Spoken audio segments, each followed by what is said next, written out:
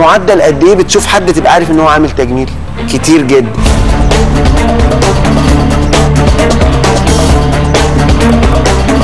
النهارده عايزك توصف لي تفاصيل هذا الكفاح المسلح.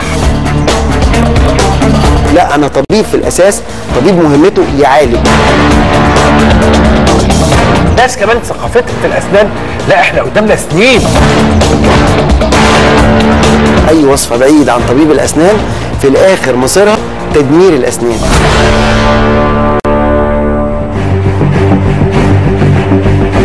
الدكتور نور الدين مصطفى تخرج من كلية طب الفم والأسنان جامعة القاهرة. تخصص في مجال تجميل الأسنان عضو الجمعية الأمريكية لتجميل الأسنان. عضو الكونجرس العالمي لزراعة الأسنان جامعة نيويورك. أحد مطوري حشوات الأسنان التجميلية.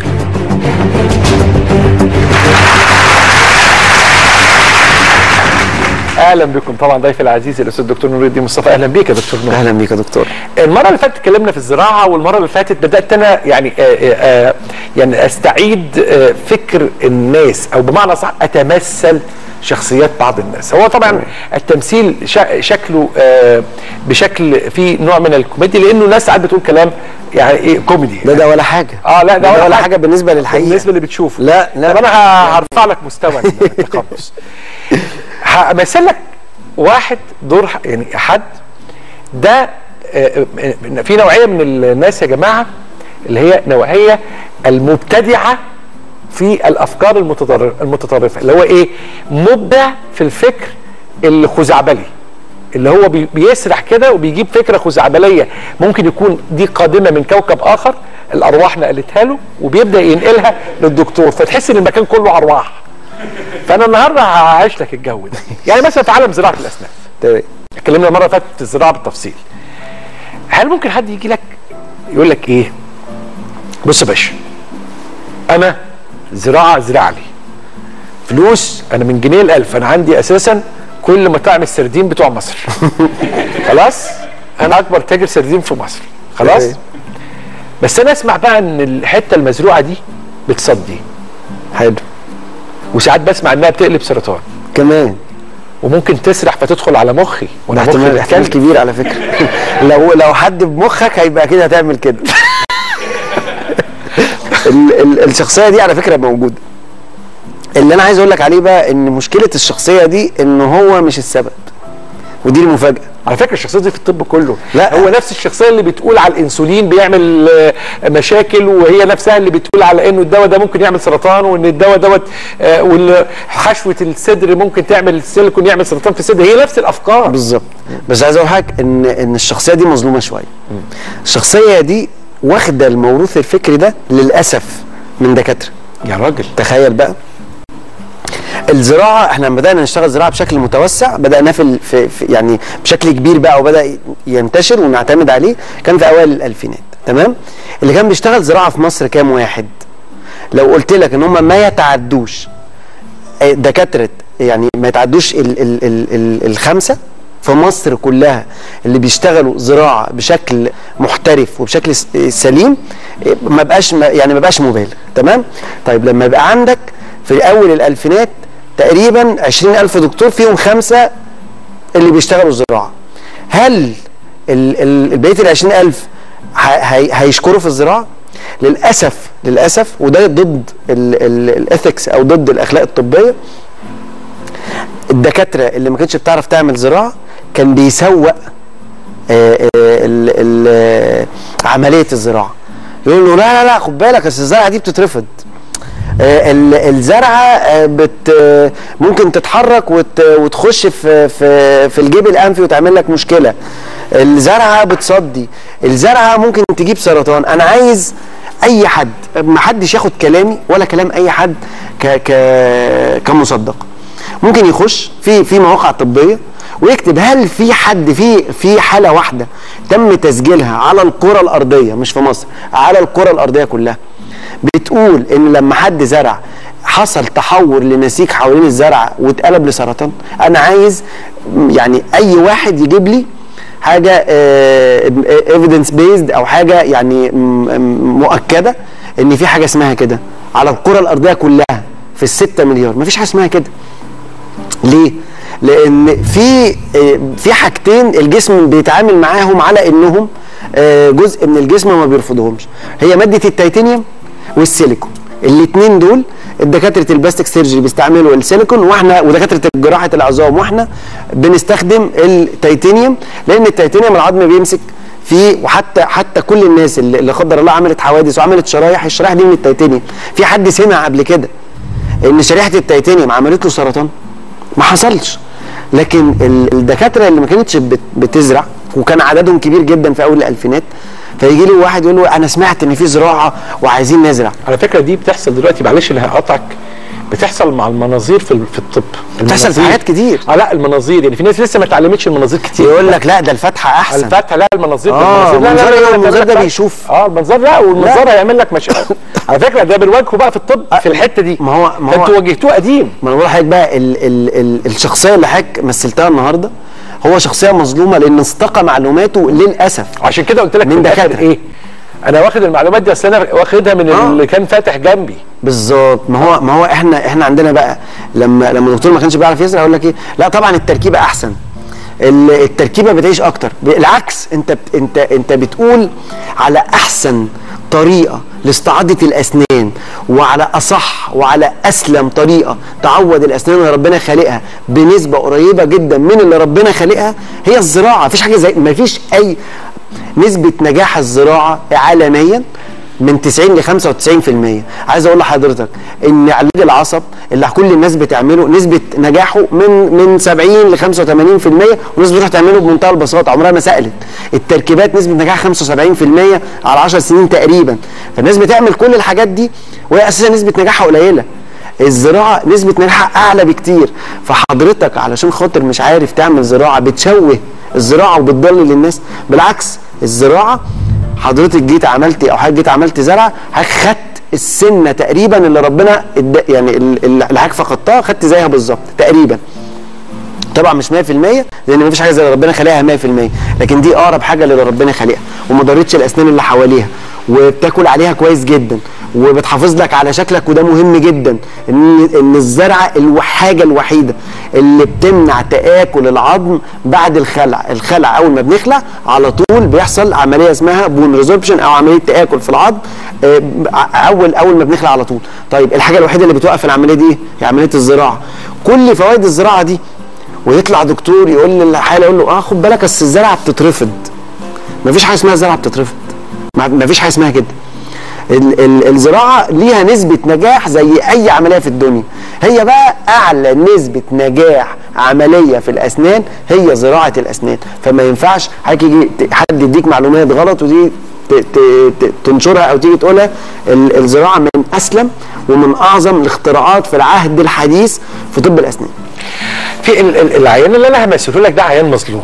تمام. ولازم كنت امثله لك يعني فعلا في مشهد تمثيلي كامل واستعيد ذكريات زمان بقى بس هعمله لك زي ما هو حاصل كده. حمادة. حمادة ده شاب لطيف من خمس ست سنين.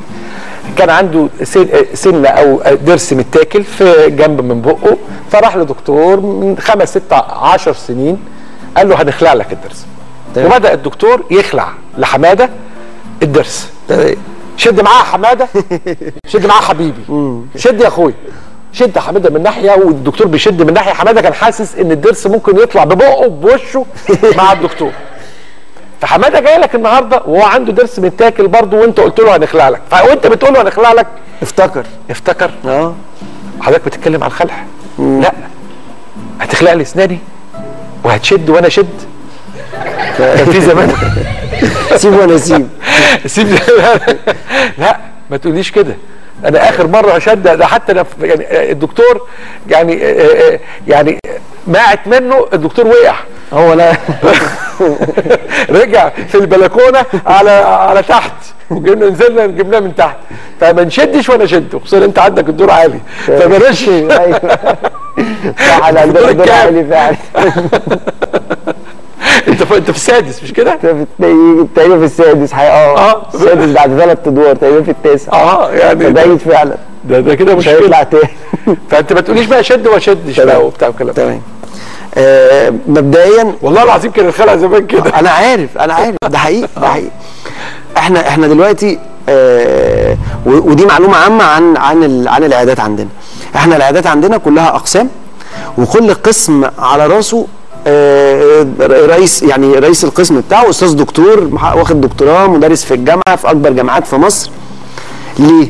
علشان- حظك حلو في المجموعة اللي بتشارك لا عشان إحنا تعبنا في يعني إحنا آه. آه. تعبنا يعني بقالنا سنين بن بن بن بنعمل و و وبندور على طول وبن وبنعمل يعني عارف اللي هو اللي بيعمل منتخب منتخب آه. آه. للعالم لا وكلهم بتدور كويس كلهم كلهم ما شاء الله. طبعا آه طب ما هو كلهم لا يعني يعني أساتذة آه فعلا يعني أساتذة في الشغل وأساتذة في في الجامعة وأساتذة سنا سنا اساتذه في الأخلاق وفي حاجة. آه لا في وأساتذة في الأخلاق. آه في. الاثكس والالتزام. يعني بالظبط. اللي عاجبني فيهم قوي فكرة إن أنا أشتغل لغاية الساعة مثلا واحدة بالليل بنفس الكفاءة اللي أنا بشتغل فيها الساعة 12 الظهر. بالظبط. آه. بالظبط. ففكرة ان إن حتى الخلع البسيط بيقوم بيه دكتور متخصص في الخلع. ودكتور يعني يعني لما يبقى أستاذ دكتور ماكسيلو فيشيال مثلا أو أو واحد من خبراء الزراعة في في الشرق الأوسط هو اللي بيخلع عشان يزرع. أكيد في فرق كبير جدا بين لما تروح حضرتك تخلع عند دكتور عادي.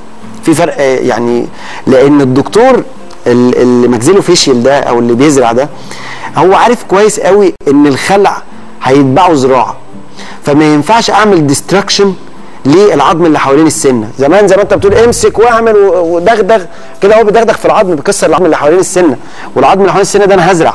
فانا محتاج كل ملي عظم. تمام؟ فهنا بنبدأ نشوف السنة دي أنسب طريقة لخلعها إيه. وزي كان زمان وهو بيخلعوا تسمع صوت تكسير يعني تسمع صوت اللي هو انت عارف إيه اللي بتش... ده عظمك. هو بيحاول يفكك عظمك من بعض عشان يطلع السنان. دلوقتي دلوقتي في جهاز تم اختراعه الجهاز ده فيه منه اتنين في مصر. اسمه بيزوتوم 2 البيزوتوم 2 ده ده بيعمل حاجات كتير قوي في الزراعة. من ضمنها إن وإحنا لو قررنا نخلع لحد هنزرع له ده مش بيخلع آه، يعني بي- بيخلع atraumatic يعني بيخلع من غير ما بنعمل destruction للعظم. بص حضرتك بندخل ال piezotome بيبدأ يقطع ودي معلومة نبقى عارفينها إن السنة ما بتبقاش ماسكة في العظم في أغلب الأحيان ب ankylosis بتبقى ماسكة ب ligaments باربطه فالجهاز ده بيخش يقطع الأربطة ويوسع العظم عن طريق آه، آه، موجات فوق صوتية معينة. زي ما إحنا شايفين بدأ يقطع في ال في ال في, ال في ال ligaments كلها في الأربطة اللي حوالين السنة بص في الآخر السنة مطلعينها بإيه؟ بإيدينا. من غير حتى forceps تمام؟ بس مش كل عيان بقى يجي يخلع. أقول أنا هخلع بال piezotome في ناس بتيجي أصلا السنة destructive خالص مش محتاجة أساسا piezotome مش محتاجة ان أنا اقطع لها ال ligaments خلاص هي متقطعة. وفي ناس بتيجي نوع تاني بقى عنده ankylosis ankylosis يعني العظم نفسه آه، آه، ماسك في السنة مش مش ب ligaments ده بيتعامل معاملة تانية.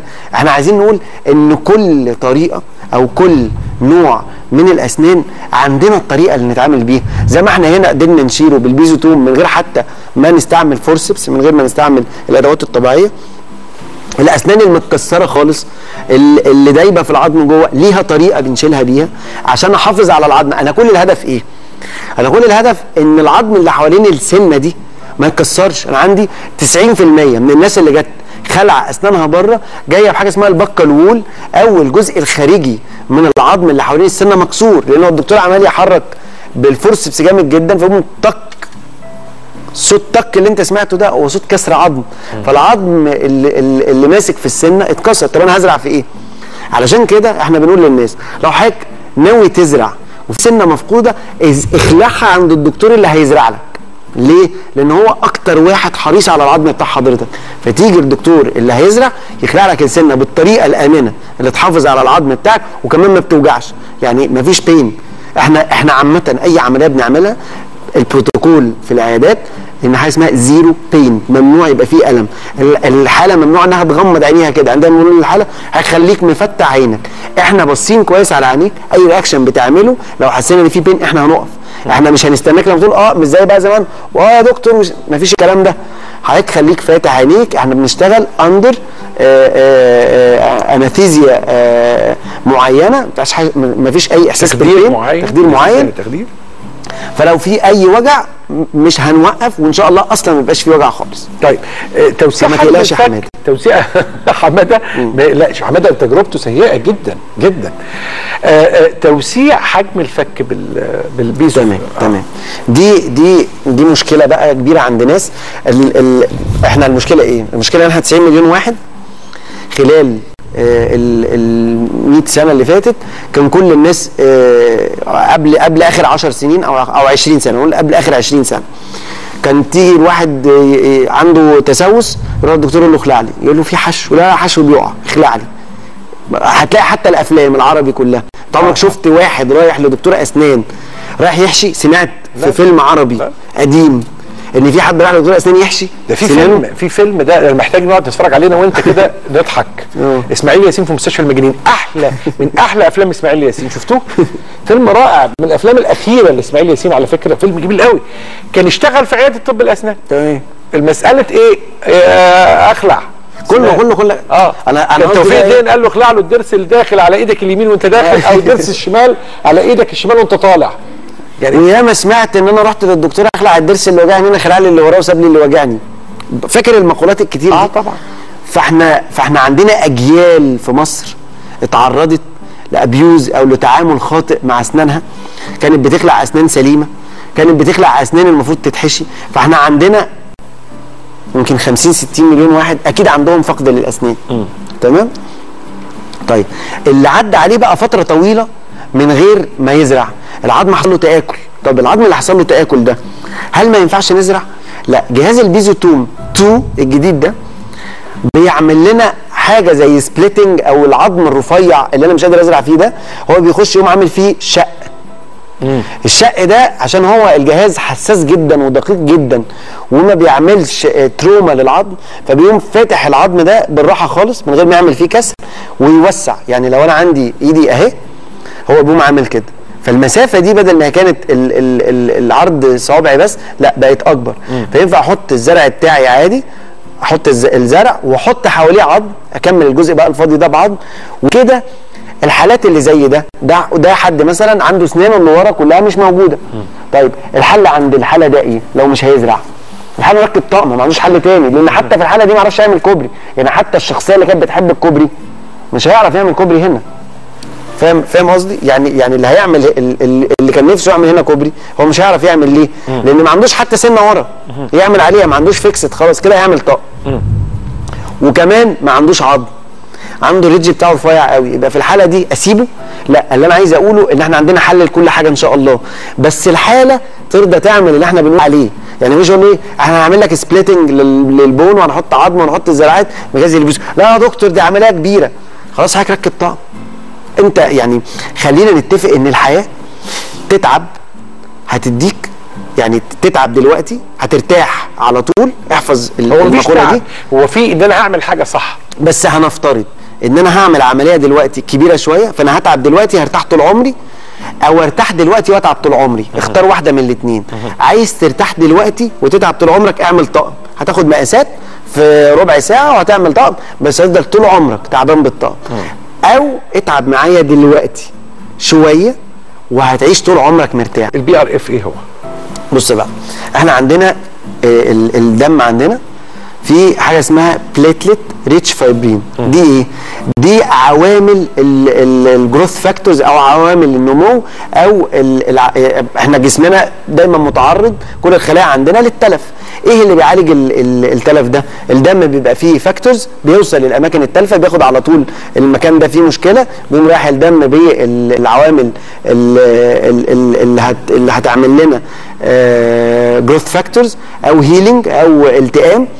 فالدم already مليان بال growth factors دي. فتم اكتشاف إن إحنا لما بناخد الدم ده ونعمل له آه centrifugation بطريقة معينة وبدرجة معينة الصفائح معين. الدموية الغنية بالفايبرين بالظبط كده. بنحصل على كمية ال factors دي كلها مع بعض من غير الدم بقى خالص. ال PRF ده مهم جدا في إيه؟ حضرتك ما هو مهم. لعلاج اللثة أي soft tissue هو فيه factors بتاع بتاع بتاعه التئام. فحضرتك دلوقتي جيت زرعت أو عندك مشكلة في اللثة. لو إحنا زرعنا هنقوم حاطين آه عندي defect في العظم مثلا. هنقوم حاطين ال- الزرعة ونحط عليها عظم مصنع وإحنا بنستخدم أحدث أنواع العظم المستخدم ال- ال- ال- اللي اتعمل بطريقه بالنانو تكنولوجي. وبنقوم حاطين عليه ال fibrin membra- membrane ده ونربط فيه اللثة. علشان ال fibrin ال PRF ده مليان growth factors فهيساعد اللثة إنها تلتئم بسرعة. فبالتالي هيساعد إن اللثة والعظم والزرعة يحصل لهم integration بسرعة جدا ويحصل التئام سريع جدا لمكان الزرع وبيحافظ وما دام عندي التئام سريع يبقى أنا عندي كمان ال infection أو العدوى أنا قدرت أسيطر عليها. شكل ال- اللثة نفسه هيبقى صحي لأن لأن أنا محتاج بالذات في الأسنان الأمامية محتاج مش رسمة اللثة بس لا أنا محتاج كمان يبقى شكلها صحي ما يبقاش شكل شكل اللثة فارق عن اللثة اللي جنبها عشان ما تبقاش شايف سنتين مختلفين عن بعض لأن ممكن يبقى السنتين شكل بعض بالظبط لكن اللثة البرواز اللي حوالين السنة شكله مش مظبوط فيديك انطباع إن السنة دي مش مظبوطة. آه، إحنا يعني من كتر ما شرحنا التكنولوجيا الحديثة وخصوصا في الفترة الأخيرة في الأسنان أعتقد إن إحنا وضعنا كثير من الناس في حرج خصوصا الناس اللي ما بتستخدمش النوعية دي من التكنولوجيا الناس اللي ما بتعملش upgrading لنفسها حطيناهم في حرج شديد جدا. وأنا مبسوط عشان كده قوي مبسوط قوي لأن أنا أحب أحط الناس اللي محلك سر. محلك سر. محلك سر يعني ما بتقدمش نفسها. ما بتعملش upgrading لنفسها. كل يوم وكل أسبوع. في حاجة جديدة بنقولها. الحاجة الجديدة دي في العالم بتطبق إحنا بنستخدمها فده بيخلي ناس كتير لازم تمشي هذا الحذو لأنه لا مكان في عالم الأسنان الآن لمحلك سر. نورتنا يا دكتور. اتشرفت بيك. خليكم دايما مع ناس الحلوة.